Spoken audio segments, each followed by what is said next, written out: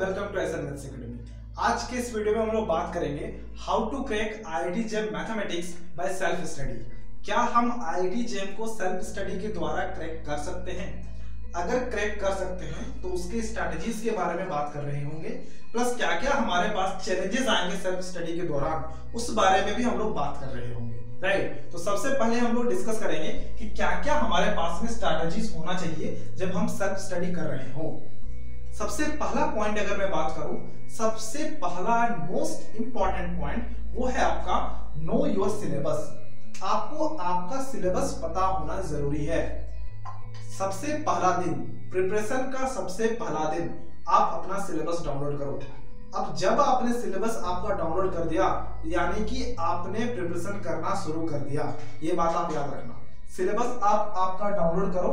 Syllabus download करने के बाद क्योंकि आप मैथमेटिक्स बैकग्राउंड के स्टूडेंट हो, जो फिजिक्स वाले हैं फिजिक्स बैकग्राउंड के होंगे, जो केमिस्ट्री वाले हैं, यार सबने ग्रेजुएशन कर रखा है, या फिर ग्रेजुएशन फाइनल ईयर में या फिर ग्रेजुएशन सेकेंड ईयर में होंगे मोस्टली जो जेम का प्रिपरेशन करते हैं तो उन्हें थोड़ा बहुत अपने टॉपिक का आइडिया होगा। मैं मैथमेटिक्स वालों के लिए स्पेशली बात करता हूँ। लाइक like आपने सिलेबस देखा सिलेबस में आपके पास में तीन टॉपिक ऐसे मिले, जिन्हें आप जानते हो उसके बारे में, थोड़ा बहुत आपको पता है। काफ़ी मास्टर नहीं हुआ उन टॉपिक्स में पर आपको थोड़ा बहुत ज्ञान है उसके बारे में। लाइक like, आप जानते हो रियल एनालिसिस हाँ यार सुना सुना लग रहा है। आप कहोगे हाँ ये तो सुना सुना लग रहा है टॉपिक थोड़ा बहुत मुझे पता है। ठीक है यार चलो। लिनियर एल्जेब्रा हाँ ये भी मुझे पता है। इंटीग्रल कैलकुलस हाँ ये भी मुझे पता है। आप कहोगे। तब इनमें से आप चूज़ करना जो भी जिस टॉपिक से आप फैमिलियर हो। पहले एक बार पढ़ चुके हो। कैसा पढ़ा है कितना पढ़ा है मैटर नहीं करता है। थोड़ा बहुत आप जानते हो, काफ़ी है। तो उसमें से सबसे ज़्यादा कंफर्टेबल आप किस टॉपिक में दिखते हो? मैं कंसिडर करके चाहता हूँ कि यार आप लिनियर अलजेब्रा में थोड़ा ज़्यादा कंफर्टेबल लगते हो। ठीक है? इन कंपेरेटिव बाकी सारे टॉपिक्स में। ठीक है? चलो, अब आपने लिनियर अलजेब्रा को कंसिडर कर लिया। आपका सबसे पहला टॉपिक जैसे ही आपने लिनियर अलजेब्रा को कंसिडर करा सिलेबस देखने के बाद सिलेबस को आप अपने अच्छे जगह में चिपका लेना। ठीक है? फिर हम लोग लिनियर अलजेब्रा कंसीडर कर रहे हैं, सबसे पहला टॉपिक हमारा। अब आप लिनियर अलजेब्रा का एक स्टैंडर्ड बुक खरीद लो। अब स्टैंडर्ड बुक्स बोले तो स्टैंडर्ड बुक्स का मतलब कोई भी बुक नहीं, किसी भी राइटर का बुक हमें नहीं लेना है। जो फॉरेनर राइटर्स का बुक है, हमें उन्हें ही टच करना है। अगर आप लिनियर अलजेब्रा का बुक मुझसे पूछो तो मैं बताऊँगा कि आप फ्रीडबर्ग का बुक खरीदो या फिर आप हॉकमन कुंज का बुक खरीदो। फ्रीडबर्ग का बुक सबसे अच्छा यार। हॉफमन कुंज में थोड़ा ज़्यादा थ्योरी गिवन रहता है, ठीक है? लिनियर अलजेब्रा का मैं बात कर रहा हूँ। तो अगर आप अभी एक स्टैंडर्ड बुक खरीद लिए, खरीद लेने के बाद आपको करना क्या है? जो जो सिलेबस में हमारे टॉपिक्स हैं, उन टॉपिक्स को हमें इस बुक से पढ़ना है। सबसे पहला चैप्टर अगर आपका है वेक्टर स्पेसेस तो वेक्टर स्पेसेस के कुछ सब टॉपिक्स होंगे। तो वेक्टर स्पेसेस के जितने भी सब टॉपिक्स हैं, आप इस बुक से पढ़ोगे। जितने भी बुक्स आप, जो भी आपने बुक्स खरीदे हैं, उस बुक से आप पढ़ोगे। बुक्स पढ़ने के बाद आप पर्टिकुलर एक डेफिनेशन को देख रहे हो। सिंपल सा मैं एग्जांपल दे रहा हूँ। आप उस डेफिनेशन के सारे लाइंस को अच्छे से समझो। समझ में नहीं आ रहा? आप यूट्यूब पर आ जाओ। आप हमारे चैनल को विज़िट कर सकते हो। जहाँ पर मैं वीडियो डालना अच्छे से शुरू कर चुका हूँ। लाइक टॉपिक वाइज वीडियो आपको सीरियली सारे वीडियोस मिल जाएँगे। राइट आप हमारे चैनल को विज़िट कर सकते हो। आप बाकी सारे चैनल को विज़िट कर सकते हो। काफ़ी सारे यूट्यूब में लेक्चर्स हैं। उन्हें आप देख सकते हो। राइट तो उसके बाद सपोज़ आपने वेक्टर स्पेस को पढ़ रहे हो आप। अब आपके पास में कोई थ्योरम्स आ गया। अब आपको करना क्या है? अब आपको पता है कि ये थ्योरम इंपॉर्टेंट होने वाली है। थ्योरम को पढ़ लो, सारा कुछ समझ में आ गया आपको। अब आपको नोट्स बनाने हैं यार। ये बात ध्यान रखना, सबसे इंपॉर्टेंट पॉइंट अब मैं बताने जा रहा हूँ। देखो, अब आपने थ्योरम पढ़ लिया डेफिनेशन पढ़ लिया, अब आपको नोट्स बनाना है एग्जांपल के साथ। सपोज़ आपने वेक्टर स्पेस का जो सब स्पेस प्रूव करते हैं बाय वन स्टेप टेस्ट आपने वो थ्योरम पढ़ा। थ्योरम को पढ़ लेने के बाद उसके कुछ एग्जांपल्स लिख लो, कुछ क्वेश्चंस लिख लो, उसी थ्योरम के बाद अपने नोट कॉपी में। Right right. वो जो एग्जांपल्स और थ्योरम्स थोड़ा अच्छे होना चाहिए, जो भी क्वेश्चंस आप लिख रहे होंगे, थोड़ा हाई लेवल के होना चाहिए। क्योंकि अगर आपने वो लिख लिया तो बाद में जब आप कॉपी पढ़ लोगे ना अपना तब आपको एग्ज़ाम्पल के साथ में चीज़ें समझ में आने लगेगी। और अगर आप एग्ज़ाम्पल के साथ में पढ़ोगे, तब जब आप पास्ट पेपर्स को देखोगे, तब भी आपको उतना टफ नहीं लग रहा होगा फ्रेंड ये बात आप ध्यान रखना। राइट अच्छा आपने नोट्स बना लिया किसी एक पर्टिकुलर टॉपिक का। सपोज़ आपने वेक्टर स्पेस को अच्छे से पढ़ लिया थ्योरम्स पढ़ लिया, उसके बाद आपने नोट्स बना लिया विद एग्जांपल अब आपको जाना है पास्ट ईयर पेपर्स की ओर। उससे पहले हमें पास्ट ईयर पेपर्स को नहीं देखना है। हम सिलेबस को ऑलरेडी देख चुके हैं। हमें पता है कि कहाँ से क्वेश्चंस आने वाले हैं। अब अगर हम डायरेक्टली पास्ट ईयर पेपर्स को देखेंगे, तब हम डिमोटिवेट हो जाएँगे। बिकॉज़ पास्ट ईयर पेपर्स में थोड़ा बहुत टिपिकल क्वेश्चंस तो होंगे।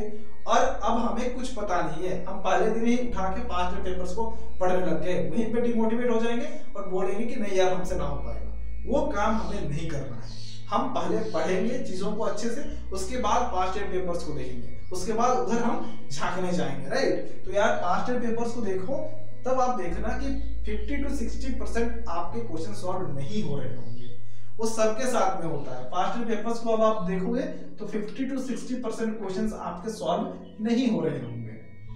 हाँ एक और बात पास्ट पेपर्स को आपको सारे टॉपिक्स का नहीं देखना है। जिस पर्टिकुलर टॉपिक ने को आपने तैयारी कर लिया है, जिसका आपने नोट्स बना लिया है, अब आपको उसका देखना है।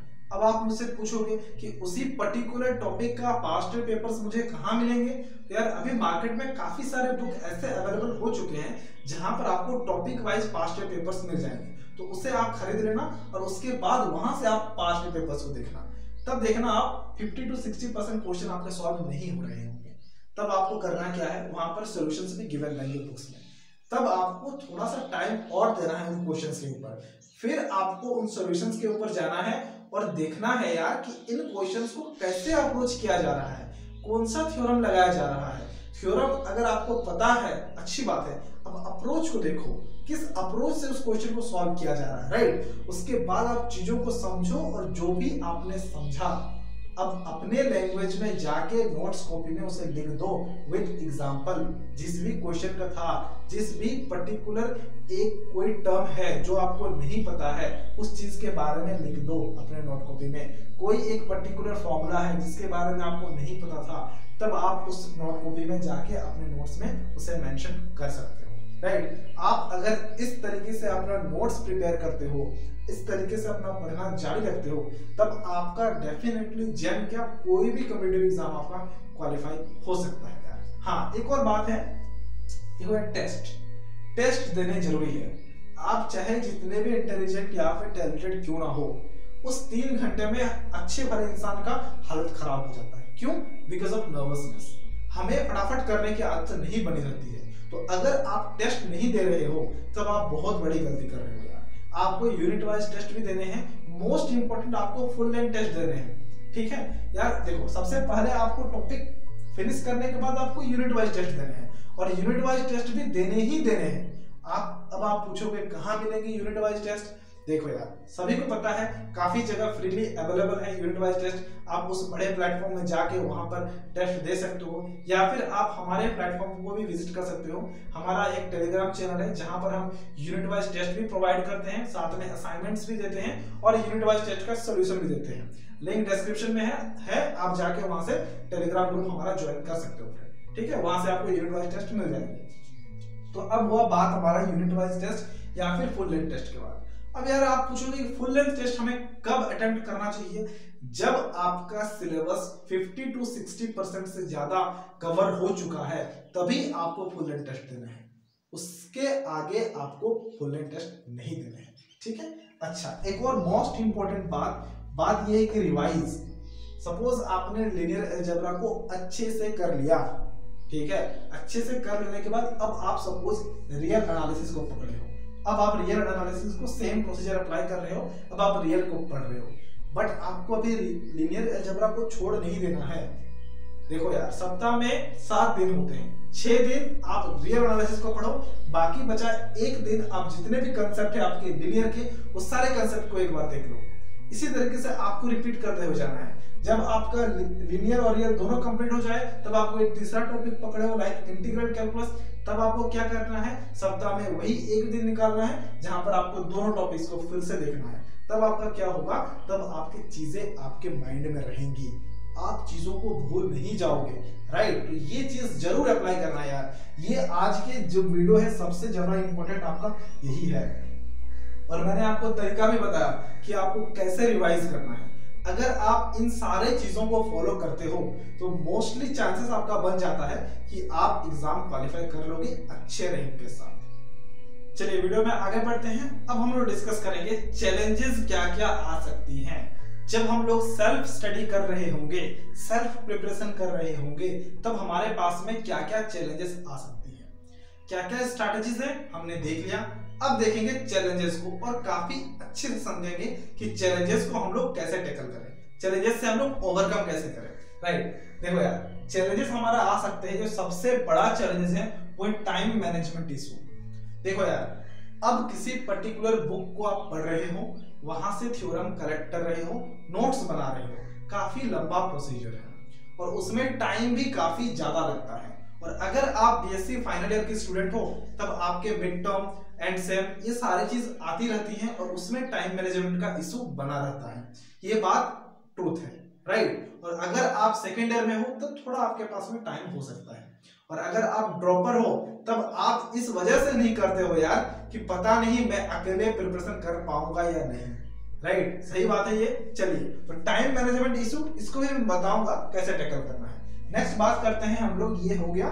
नेक्स्ट बात करते हैं less motivation plus self doubt ये सारे स्टूडेंट को होता है कि धीरे धीरे आपने पहले दिन ज़ोर के, ज़ोर लगा के दस घंटे मेहनत करा। दूसरे दिन आठ घंटा, तीसरे दिन छह घंटा, चौथे दिन चार घंटा, पाँचवें दिन बंद। मोटिवेशन गया, उड़ गया मोटिवेशन आपका। प्लस साथ में आपने पाँच टेन पेपर्स को उठा के देख लिया तो आपके पास में ये आ गया। सेल्फ डाउट सबके मन में होता है और स्पेशली जो सेल्फ स्टडी कर रहे होते हैं, उनके मन में तो ये ज़रूर होता है, यार, मैं कहाँ कर पाऊँगा? यार, वो सारे दिल्ली में पढ़ रहे हैं, कोई पुणे में पढ़ रहा है, कोई किसी और यूनिवर्सिटी में पढ़ रहा है, यार, कोई आईटीज में है जो सी एस नेट के प्रिपरेशन कर रहे हैं, उनका बात कर रहा हूँ। राइट तो यार, ये सारे सेल्फ डाउट अपने माइंड से निकाल दो। उनके पास भी वही रिसोर्सेस हैं जो रिसोर्सेस आपके पास में है। बस प्रॉब्लम ये है कि आप उन रिसोर्सेस पर बिलीव नहीं कर रहे हो।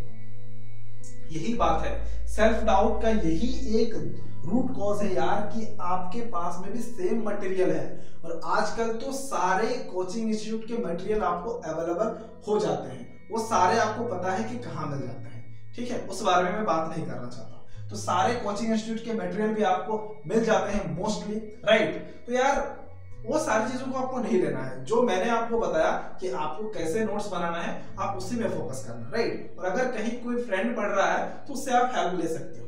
तो सेल्फ डाउट तभी खत्म होगा जब आप अपने मटेरियल पर बिलीव करोगे, जो भी स्टडी मटेरियल आपके पास में है राइट ठीक है। अब बात करें लेस मोटिवेशन का।